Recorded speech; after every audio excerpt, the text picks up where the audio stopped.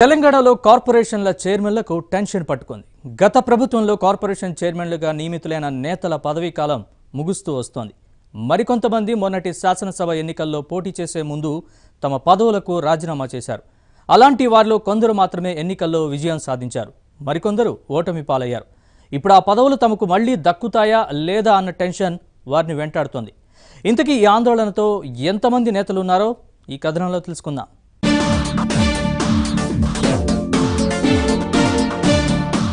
రాష్ట్రంలో రెండోసారి అధికార పగ్గాలు చేపట్టిన గులాబీ బాస్ కేసీఆర్ ఇప్పుడు నామినేటెడ్ పదవుల భర్తీపై దృష్టి సారించారు.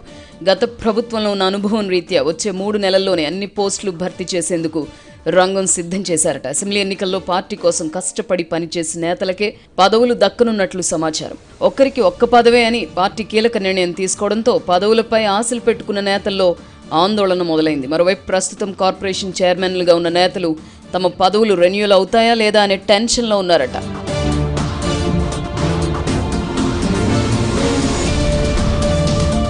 కేసీఆర్ తొలి ప్రభుత్వంలో నామినేటెడ్ పదవుల భర్తీ ఆలస్యమైంది. దీంతో పార్టీ నేతలు చాలామంది నిరాశకు గురయ్యారు. కొంతమంది శాసనసభ్యులకే కార్పొరేషన్ చైర్మన్ పదవులను కట్టబెట్టారు కేసీఆర్. అప్పట్లో ఆర్టీసీ చైర్మన్గా Ramagundam MLA Somarapu Satyanarayana mission Bhagiratha vice చైర్మన్గా వేముల ప్రశాంత్ రెడ్డి తెలంగాణ సాంస్కృతిక సారథిగా ఎమ్మెల్యే రసమై బాలకిషన్ ఇలా పలువురికి నామినేటెడ్ పదవులు దక్కాయి. దీంతో పార్టీలోని సీనియర్లు అసంతృప్తికి లోనయ్యారు. రెండోసారి భారీ మెజారిటీతో టీఆర్ఎస్ అధికారంలోకి వచ్చింది. అందువల్ల ఈ దఫా ఎక్కువ మంది పార్టీ నేతలకు పదవుల పంపిణీ ద్వారా న్యాయం చేయాలని కేసీఆర్ డిసైడ్ అయినట్లు తెలుస్తోంది. గతంలో మాదిరిగా కాకుండా కార్పొరేషన్ పోస్టులు జిల్లా పార్టీ కన్వీనర్లు తదితర పదవులను ఇప్పటి నుంచే భర్తీ చేసేందుకు సీఎం కేసీఆర్ కసరత్తు చేస్తున్నారు. మంత్రివర్గ విస్తరణ పూర్తి కాగానే చాలా కార్పొరేషన్లకు చైర్మన్లను నియమించనున్నట్లు వెనికిడి.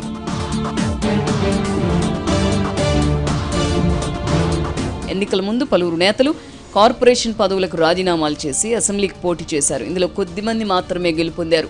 పలువురు నేతలకి నిరాశ మిగిలింది. ఈ తరుణంలో పార్టీ అధినేత కేసీఆర్ తమకు మళ్ళీ నామినేటెడ్ పోస్ట్ ఇస్తారో లేదో అనే బెంగ వారిని వెంటాడుతోంది. ఇందులో రామగుండం మాజీ MLA Somarapu SC corporation chairman Pidamarthi Ravi Musi development corporation chairman Prem Singh Rathod సెట్పిన్ chairman Inayat Ali bhakri తదితర నేతలున్నారు రెండు వేల పద్నాలుగులో ప్రభుత్వం ఏర్పడిన తర్వాత మొదట తొమ్మిది కార్పొరేషన్లకు చైర్మన్ పదవులు భర్తీ చేశారు. వాటికి మాత్రమే మూడు సంవత్సరాల పదవీ కాలం ఉంది. ఆ తర్వాత భర్తీ చేసిన కార్పొరేషన్ల చైర్మన్ల పదవీ కాలం రెండేళ్ళు మాత్రమే. వీరిలో కొద్ది మంది పదవీ కాలం ముగిసింది కూడా. మరికొద్ది నెలల్లో మిగతా నేతలకి గడువు ముగుస్తుంది. ఈ నేపథ్యంలో చాలామంది నేతలు తమ హోదాలను మళ్ళీ రెన్యువల్ చేయాలని ఆశిస్తున్నారు. వీరిలో కొందరికే గులాబీ బాస్ అవకాశం కల్పిస్తారనే చర్చ పార్టీ శ్రేణుల్లో సాగుతోంది.